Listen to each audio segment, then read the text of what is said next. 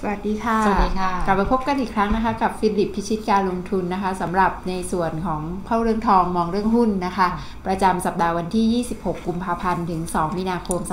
2561 นะคะ ในช่วงสัปดาห์ที่ผ่านมานะคะ ก็จะเห็นได้ว่าตลาดบ้านเราเนี่ยเอ่อมีการ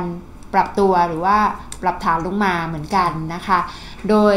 ถ้าไปมองในส่วนของปัจจัยต่างๆเนี่ยอาจจะเห็นได้ว่าปัจจัยบวกเนี่ยเราก็ได้มีการตอบรับ ไปในระดับหนึ่งไปค่อนข้างเยอะแล้วเออไปค่อนข้างเยอะแล้วนะคะ ปัจจัยใหม่ ๆ ที่ดูจะเป็นบวกเนี่ยเราก็ยังไม่ได้เห็นอะไรที่ชัดเจนเข้ามานะคะ ก็คือตอนนี้จริงมันอยู่ในช่วงของฤดูประกาศผลประกอบการค่ะนะคะ เพราะฉะนั้นเอ่อในสัปดาห์นี้เนี่ยที่กำลังถึงนี้ก็คือ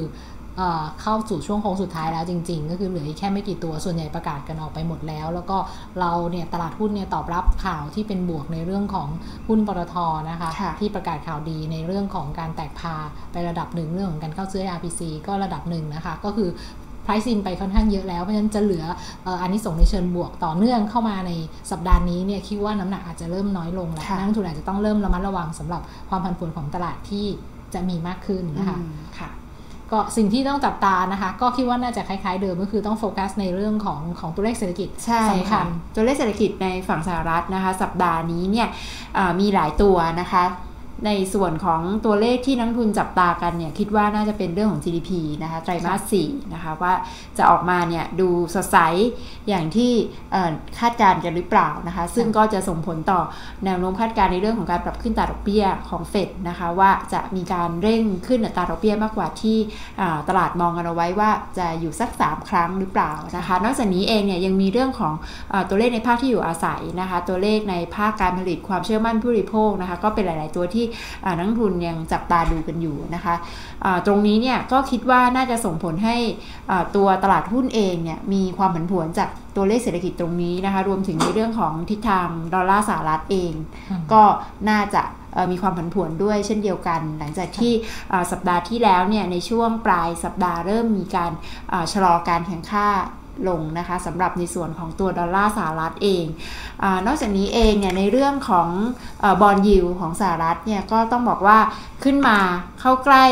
เอ่อระดับ3%นะคะมากขึ้นนะคะก็เป็นอะไรที่มุมมองในเรื่องของการปรับขึ้นแต่ดอกเบี้ย รวมถึงในเรื่องของเงินเฟอ้อของสหรัฐเนี่ยก็ได้รับผลกระทบจากทิศทางของบอลยิวนะคะในช่วงนี้ก็นักลงทุนค่อนข้างให้น้ำหนัก ก็ดูเป็น 2 ประเด็น ที่คือเชื่อได้ว่าความผันผวนจะต้องมีมากขึ้นเยอะ เพราะว่ามันใกล้เข้าไปแตะ3%มากขึ้นทุกวันนะคะค่ะก็ทั้งตัวดอลลาร์สหรัฐด้วย แล้วก็ตัวตลาดหุ้นด้วยนะคะใช่บนความค่ะกังวลในเรื่องของการปรับขึ้นอัตราดอกเบี้ยของของเฟดนะคะว่ายิ่งถ้าตัวเลขเศรษฐกิจดีมากค่ะๆต้องจับตาดูกันนะคะ ตรงนั้นอาจจะมีกำลังในการผลักดันให้มีความคิดไปในทิศทางที่ว่าเอ่อตัวเงินเฟ้อหรือว่าตัวภาพเศรษฐกิจที่ดูแข็งแกร่งมากเนี่ยค่ะเฟดน่าจะมีความพร้อมในการปรับขึ้นอัตราดอกเบี้ยได้ได้เร็วกว่าที่คาดนะคะตรงนั้นค่ะก็คิดว่าเป็น factor ที่น่าระวังนะคะ แล้วก็ค่ะเรื่องของเออตัวความผันผวนของค่าเงินดอลลาร์สหรัฐแน่นอนที่สุดมีผลกระทบต่อ commodities ของใช่อเมริกาค่ะค่อนข้างเยอะ ใช่ โดยเฉพาะในส่วนของทองคำนะคะ ก็ต้องบอกว่า เมื่อดอลลาร์สหรัฐเนี่ยแข็งค่าขึ้นมานะคะตัวอทองคำเนี่ยก็ได้รับผลกระทบก็คือจะมีแรงขายออกมาในส่วนของตัวอทองคำหลังจากที่สัปดาห์ที่แล้วเนี่ยมีการพักตัวลงมานะคะหลุดระดับ 1,340 เหรียญต่อออนซ์นะคะก็ลงไปทดสอบแถวๆระดับประมาณ 1,320 เหรียญต่อออนซ์นะคะเรามองว่าถ้าดอลลาร์เนี่ยมีการแข็งตัวค่อนข้างผันผวนเนี่ยก็น่าจะส่งผลต่อ ความเคลื่อนไหวของตัวเอ่อราคาทองคำด้วยนะคะ ตรงนี้เนี่ยนอกจากประเด็นในเรื่องของดอลลาร์สหรัฐเองเนี่ยเรื่องของอุปสงค์ที่เข้ามานะคะในช่วงก่อนตรุษจีน พอจบช่วงตรุษจีนเนี่ยก็โดยปกติเนี่ยมักจะเห็นอุปสงค์ที่ซบเซาลงนะคะค่ะก็น่าจะทำให้เอ่อตัวราคาทองคำเนี่ยมีโอกาสที่จะซึมซึมๆลงได้ต่อนะคะเอ่อแต่ถ้ามาดูในเรื่องของดอลลาร์สหรัฐเนี่ย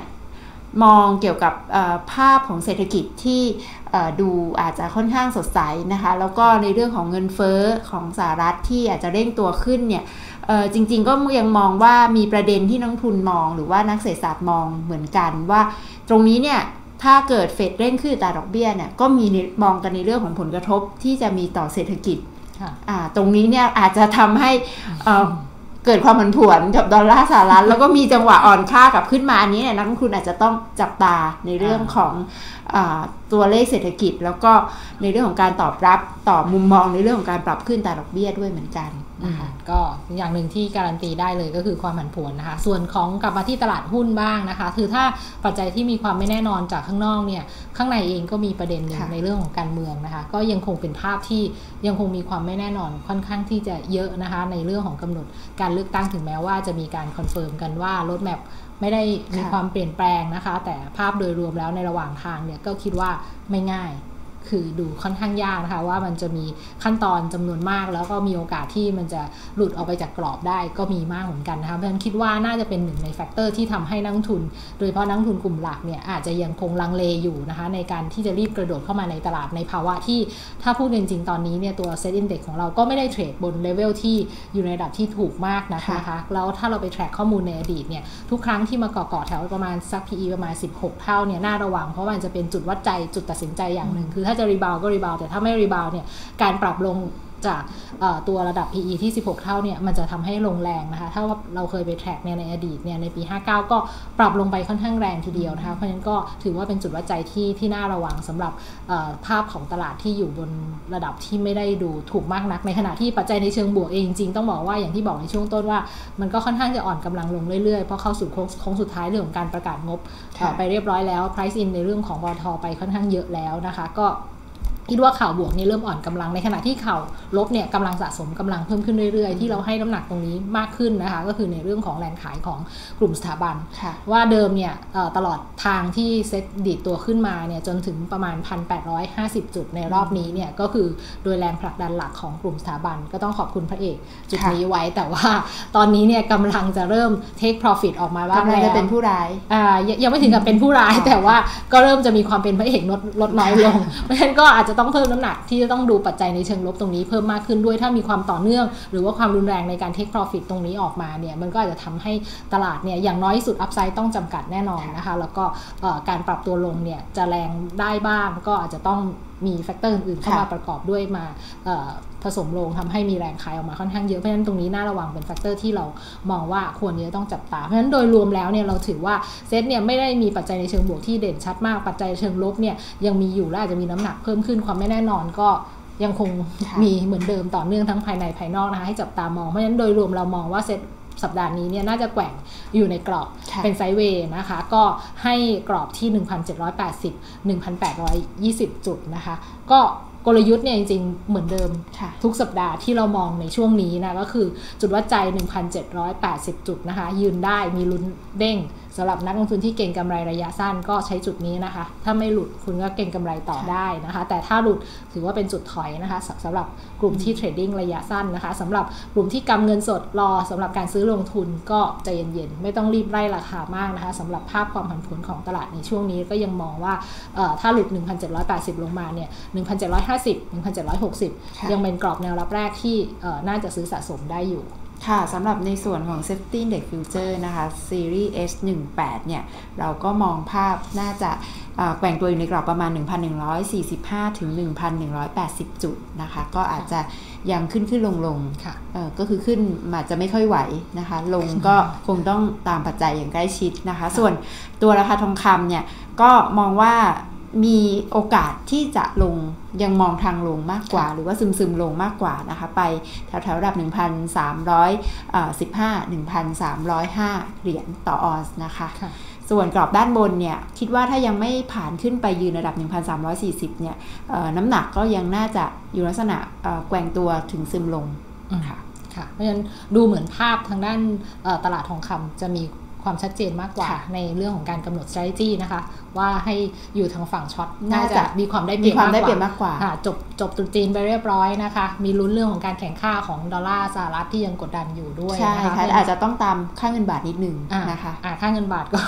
โอเคค่ะค่าเงินบาทนี่เรื่องก็อาจจะมีความผันผวนเยอะขึ้นเหมือนกันนะคะ ช่วงก่อนหน้านี้ค่อนข้างแข็งค่าเยอะนะคะ ก็ค่อนข้างเป็นแรงกดดันนะคะ ตอนนี้เริ่มอ่อนค่าลงมา แต่ว่าก็ถือว่าเป็นการอ่อนค่าอยู่ในเทรนด์ที่ยังคงเป็นขาลงอยู่ ใช่ค่ะต้องระวัง factor นี้เข้าไปด้วยสำหรับการ trade ทองคำในประเทศนะคะค่ะแต่ถ้า trade ในเรื่องของทองคำโลกก็จับตาดูเรื่องของตัวดอลลาร์สหรัฐเพียงอย่างเดียวก็คงจะเพียงพอนะคะ ก็ในเรื่องของเออกลยุทธ์นะคะ ก็อย่างที่บอกก็คือทองคำเน้นทางฝั่ง short มากกว่า แต่ถ้าเป็นตัวตลาดหุ้นเองก็ขึ้นขายลงซื้ออยู่ในกรอบนะคะสำหรับเซตอินดี x เนี่ยก็